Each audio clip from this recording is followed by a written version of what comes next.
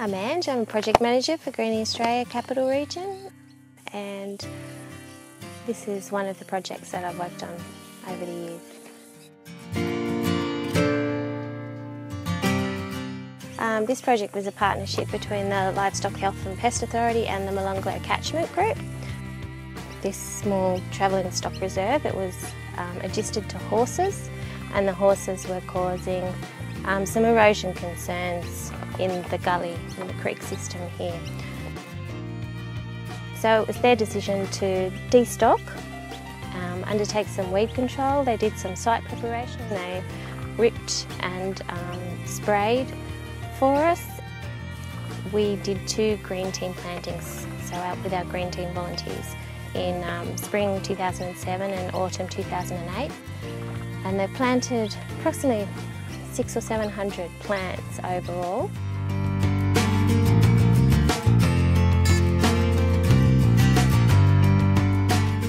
The benefits, I suppose, for the LHPA were that the um, stabilisation of the creek was improved, the ground cover is returned.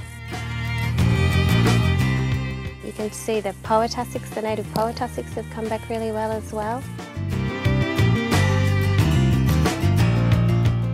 But overall, it's, it's been quite a success. Yeah.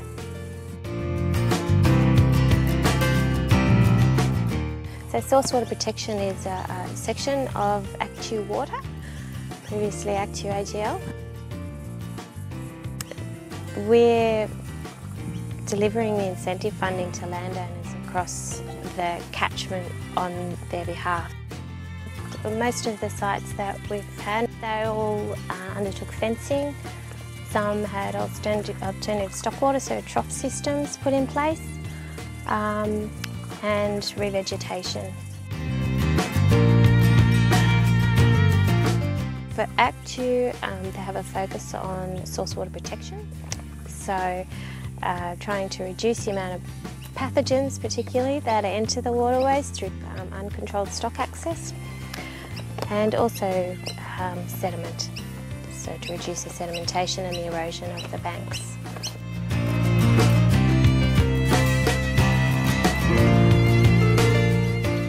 The benefits for them, most landowners recognise that there are water quality issues um, and would prefer to have stable banks and, and, a good riparian zone so that when they do need to utilise it, it it's um, in a better condition.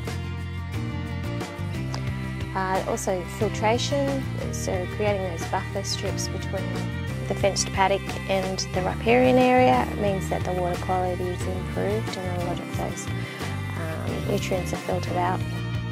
And, and it's an opportunity for them to get some funding to do this work.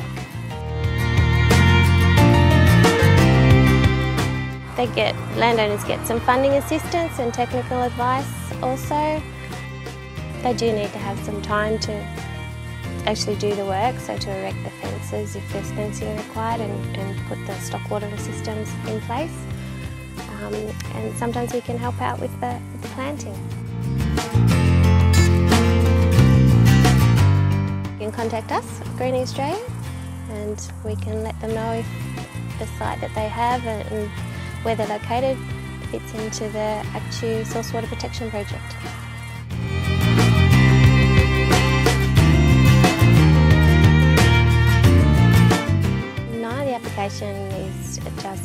Requires a, a site visit from um, our project officer, me, and uh, it's a two-page application form, so it's very simple, very straightforward.